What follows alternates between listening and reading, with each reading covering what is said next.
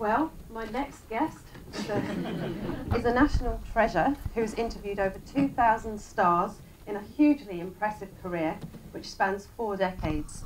I'm very pleased to welcome him here tonight, Sir Michael Parkinson.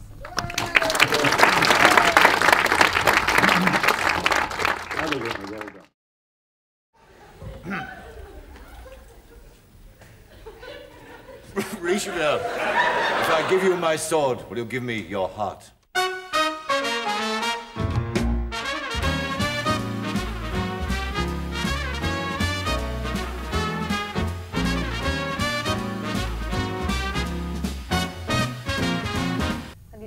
In those early days there were no focus groups and charts, you were just left to get on with it.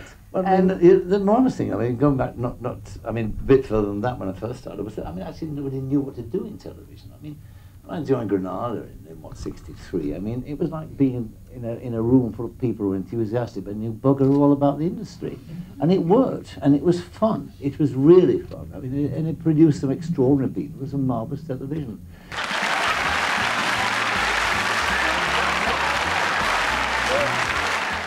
Do you think TV today suffers because of this lack of a laissez-faire attitude? No, I think it's changed. I think uh, inevitably, of course, it's changed. I mean, the technology is changing more than anything else, multiplicity of channels and things like that have inevitably changed the way that uh, the, the demands on the industry. And I think there's a confusion in the industry at present because, you know, the, the, the technology has advanced at a huge and, and rapid rate that nobody's quite sure where it's going, what's happening, what do we do, how do we feed it, what, what kind of programs do we do. I think sadly, if you look at say ITV as an example, I mean, I mean a, a company I worked for, Granada, my early, my former, my very first company, and I worked for it for many, many years. I mean, I look at Granada now and the Granada then and think, well, what happened?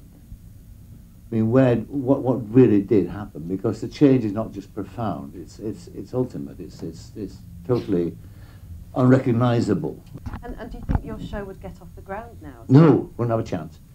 Have a cat and chance. Not at all. I mean, they'd say it was Orson Welles.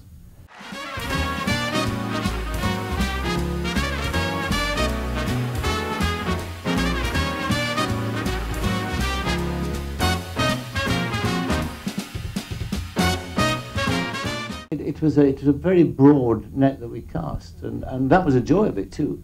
I mean, it was a very very boring job indeed to sit down and just interview, you know, the the stars, if you like. I mean, it, it, you had to have that rich mixture, and also too. I mean, the joy of it was was to put together people of dis- seemingly disparate occupations, but who came together in the show, you know, different disciplines. It was wonderful. Um, um, why can't we do that now? Is that because the nature of celebrity has changed? And the nature of the television talk show has changed as well. I mean, I think that now that, that it's, it's been defined as being the American example, if you like, basically, where the, the host is, is not a, a, an inquisitor, if you like, but he's a, he's a stand-up comic, basically. And, it's and, he, and he has, and he has the, the, the, the foil to the humour sitting next to him. I mean, that's what you've got now. I mean, look at, look at the range of people who are doing talk show. now. Look, look where they come from. I mean, Jonathan's an example of somebody who's he's not a stand-up comic, although he'd like to be. But, but the fact of the fact of the matter is that Jonathan is very capable of doing a very good interview, uh, and I saw him do one the other day. But you know, generally speaking, he's, he's sort of along that wave of you've got to be sort of not confrontational, but you've got to be the star of the show, if you like, and the other and the, the people you book are kind of ulterior to that. And, and I think that that's, that's one way of doing it. Of course it is. It's not my way, and I don't see anybody doing that kind of interview conversation interview we, we used to do now. Do you know that it takes a man to fall from the top of Big Ben? See, Mike's always quoting from the Guinness Book of Records. Doesn't matter, at the drop of a hat, he'll trot one out, you see.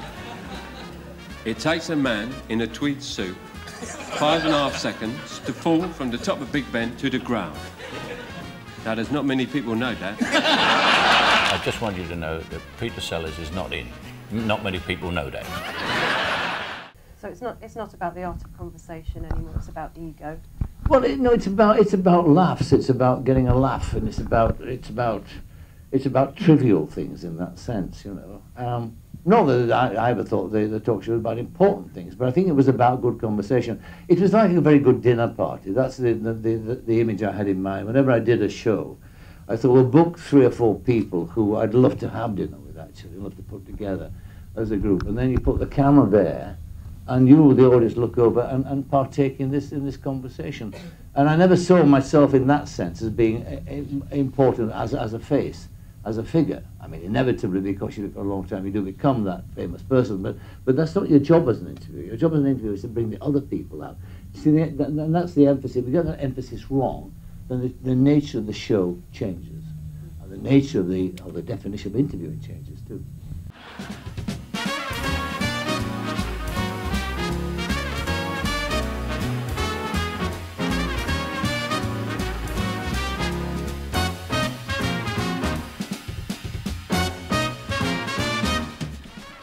Golden balls, you know, now because I mean, this is good than that one, isn't it? That's going to be. I know that's one of those things I shouldn't have said, but.